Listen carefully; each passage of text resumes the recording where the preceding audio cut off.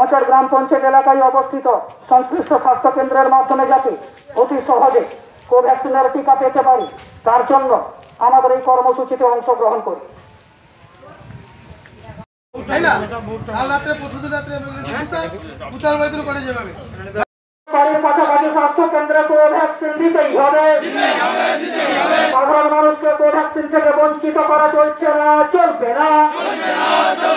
সাধারণ মানুষকে কোভ্যাক্সিন থেকে বঞ্চিত করা চলছে না, চলবে না। ওই আশা কর্মীদের স্বেচ্ছাচারিতা মানছি না, মানব না।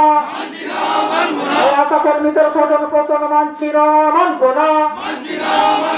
এই করোনার বিরুদ্ধে লড়াই আমাদের সবাইকে একসাথে করতে হবে। স্বাস্থ্য কেন্দ্রে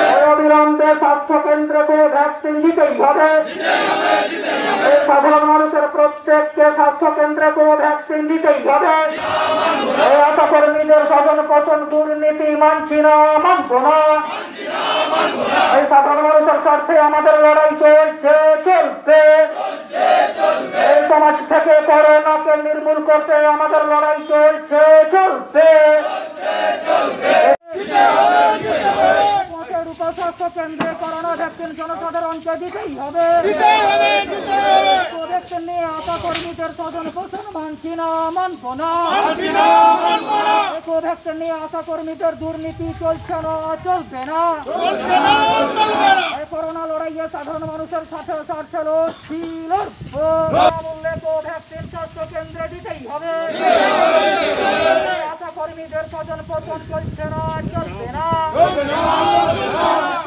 স্বার্থে দুর্গা দুর্গা রে দুর্গা শুভ তাই সরকার কোনো খবর খবর কিছু তো উঠে কি হবে উঠে সকালে কতগুলো ফোন করছি দেখ স্বেচ্ছাসেবী সংগঠনের উদ্যোক্তা কর্তাগণ সবাইকে সকলভাবে অংশগ্রহণ করে এলাকার সাধারণ মানুষের প্রত্যেকের কাছে কোভিড ভ্যাকসিন পৌঁছে দেওয়ার জন্য এবং আমাদের লড়াইয়ে সামিল হওয়ার জন্য আহ্বান জানাচ্ছি এলাকার কিছু স্বাস্থ্যকর্মী বিশেষ করে আশা কর্মীরা আমাদের করোনা দ্বিতীয় ঢেউতে আমাদের সরকারের নির্দেশ অনুযায়ী আমাদের প্রথম দু মাস আমরা সমস্ত ভ্যাকসিনগুলো আমাদের উপস্বাস্থ্য কেন্দ্রে, সংশ্লিষ্ট উপস্বাস্থ্য কেন্দ্রতে দেওয়া হয়েছিল।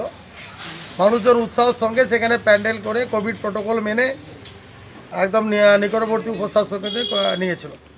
বহু বয়স্ক মানুষ ছিল, কিছু পঙ্গু ছিল, অনেকেই ছিলেন।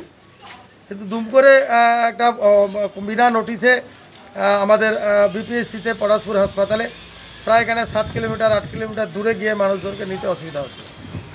এবং সেই জন্য আমাদের প্রতিবাদ যে আমাদের উপস্বাস্থ্য কেন্দ্রে যেহেতু গ্রাম পঞ্চায়েতের স্বাস্থ্য পরিকাঠার মধ্যে পড়ে, এখানে পঞ্চায়েত এবং মানুষজন মিলে স্বাস্থ্যকর্মীরা মিলে এখানে সুন্দরভাবে নাম দিয়ে আমরা কোভিড প্রটোকল মেনে এগুলো যেগুলো করছিলাম সেগুলো করতে হবে। দ্বিতীয়ত হচ্ছে আমাদের প্রতিবাদ, সেটা হচ্ছে আশাকর্মীদের তারা হঠাৎ করে দু তিন ঘণ্টা আগে জানিয়ে তারা নিজেদের আত্মীয় বন্ধুবান্ধবের নামটা ঢুকিয়ে দিচ্ছে। এবং সরকার যেটা বলছেন ফ্রন্টলাইন ওয়ার্কার যাদের মাধ্যমে এই করোনাটা স্প্রেড করছে তাদেরকে আগে দিতে হবে। অসংগঠিত ক্ষেত্রে শ্রমিক, ইউনিয়ন, রিক্সা চালক, টোটো চালক, পরিবহন শ্রমিক, ছোট দোকানদার, ক্ষুদ্র ব্যবসায়ী, বন্ধু, এদেরকে কিন্তু বঞ্চিত করা হচ্ছে। আশা কর্মীগণ করছেন কি? তাদের আত্মীয় বন্ধুবান্ধবদের নাম দিয়ে, তাদের, যাদের ফ্যামিলি পুরো নাম দিয়ে দিয়ে আগে তাদের করে দেওয়া হচ্ছে। আজকে প্রায় তিন মাস, চার মাস ধরে লাগাতার চলছে। এতে বহু মানুষজন বাজার এলাকায় বাকি আছেন। তাই আমরা প্রতিবাদ করছি গণ অবস্থান করছি। লিখিত আমরা সংশ্লিষ্ট আধিকারিকদের জানিয়েছি। যে যাতে করে পুনর্বার এইটা বিবেচনা করা হয় উপস্বাস্থ্য কেন্দ্রতে কোভ্যাক্সিন এবং কোভিশিল্ডের টিকা ব্যবস্থা করা